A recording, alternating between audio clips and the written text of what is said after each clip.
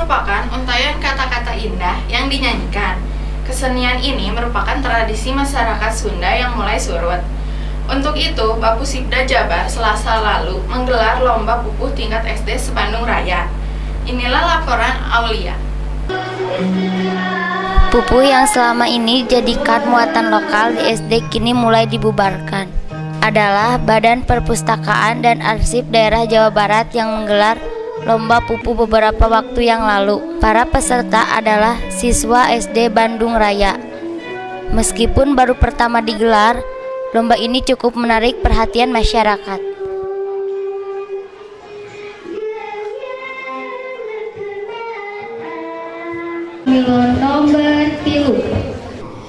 Jadi uh, ini kebetulan adalah lomba pupuh yang pertama ya di Bapusibda dan uh, ke depannya karena sebenarnya Bapusibda itu memang uh, basisnya itu adalah budaya membaca dan menulis dan ini uh, pupuh ini adalah merupakan uh, literasi yang ada di dalam buku-buku uh, ya kekayaan kita. Nah ini tentunya jangan hanya tinggal di dalam buku, akan tetapi harus kita uh, lestarikan, harus kita uh, teruskan kepada generasi muda sehingga nanti ini menjadi ikut mewarnai kepada jati diri uh, bangsa dan negara kita, terutama masyarakat Jawa Barat generasi mudanya dan uh, tentunya seluruh masyarakat sebetulnya kami harapkan.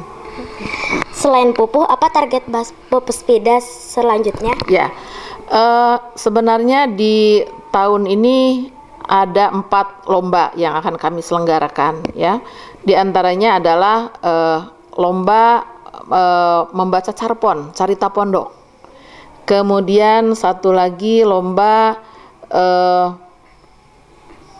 lomba lomba carpon, kemudian ada lagi lomba pidato bahasa Sunda ya. Nah, nanti mungkin um, ini sebagai awal permulaan saja. Di 2016 akan lebih kami gelorakan lagi dan kami juga mungkin akan melakukan benchmark ya.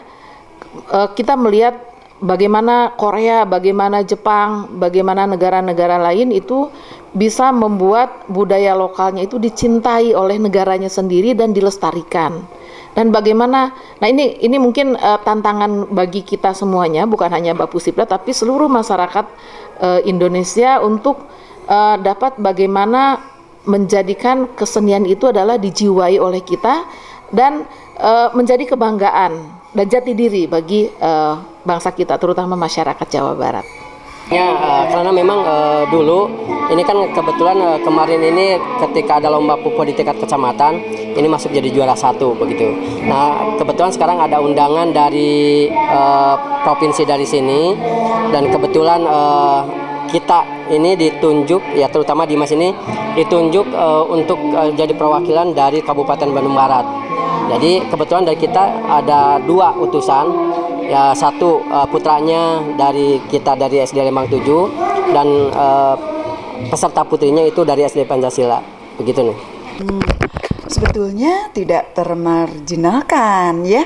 Tapi uh, mungkin karena pesertanya atau sekolah yang uh, muatan lokal yang tadi Ade sebutkan itu hanya sedikit jadi seolah-olah termarginalkan tapi eh, kami melihat di setiap lomba yang diadakan oleh Dinas Pendidikan Kota Bandung atau oleh Perpustakaan Jawa Barat itu selalu banyak alhamdulillah ya.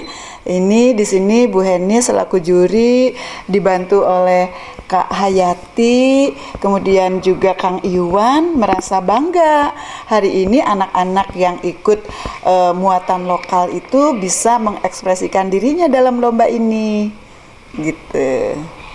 Setelah menjadi penentu pemenang lomba pupu hari ini, apa komentar Bapak Ibu tentang apresiasi anak-anak terhadap pupu? Ya kita merasa bangga ya eh, Kak Hayati gimana nih penampilan anak-anak tadi? Uh, kalau menurut saya ada ya uh, ekspresi dari teman-teman yang lomba puh tadi sangat luar biasa.